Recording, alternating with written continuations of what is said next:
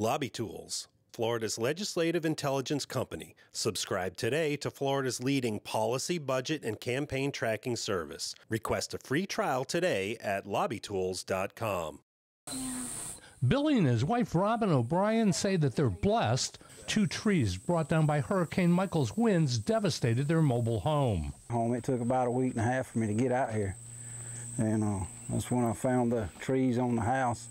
They spent more than four months in this pop up camper with their adult son. We made do with what we had, and we're thankful for it. Was it hard? Oh, yeah. Oh, yeah. It's hard when you didn't have a bathroom. How'd you shower? At the friend's house where we were had the camper set up, we used their shower and bathroom. Good to have friends. Uh, yes, sir. The O'Briens are among the lucky in Jackson County. Blue tarps remain plentiful here. Uh, There's a lot of people still still without homes. I mean, around the area, so. and a lot of people could still use some help.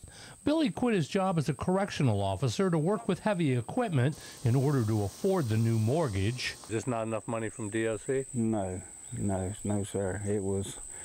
It might have, might have, could have made it, but you'd that'd have been it. You'd have been struggling every week. The O'Briens say that these trees are going to be here for a long time. The reason? No one can afford to pick them up. Robin says she's ready to celebrate the 4th of July. More than just that, celebrate that I can celebrate. I've got a home.